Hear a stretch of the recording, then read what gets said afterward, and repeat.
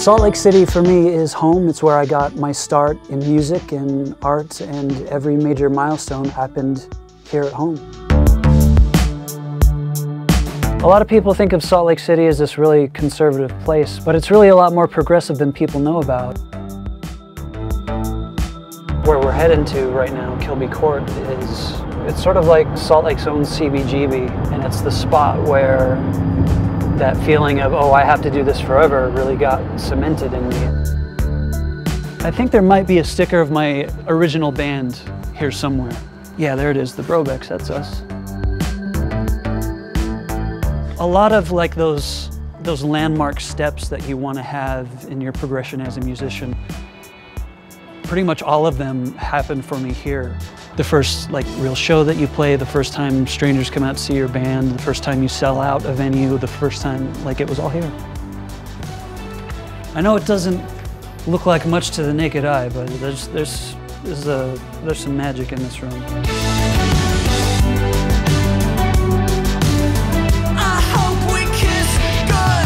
There's a sense of community here. It's not about fame and, and celebrity. It's, it's about making art for art's sake. That's the guy who built all this stuff. He spent 20 or 30 years building it, you know, just because he loved it. And I think that's why you should make art.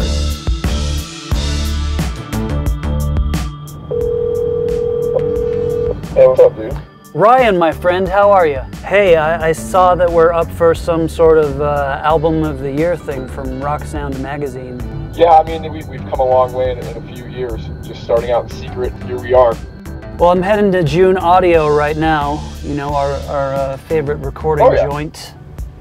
And, uh, dude, just wish you were here.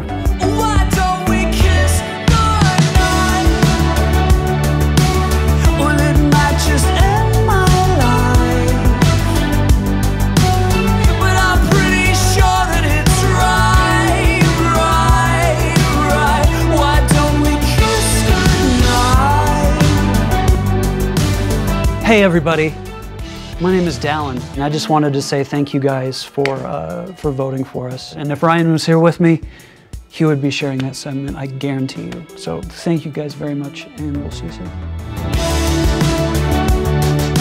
I don't always get a chance to go out and see some of the really great places here in my hometown, but uh, today was really great. It was nice to be able to visit some of these places and see them and know that they're still out there.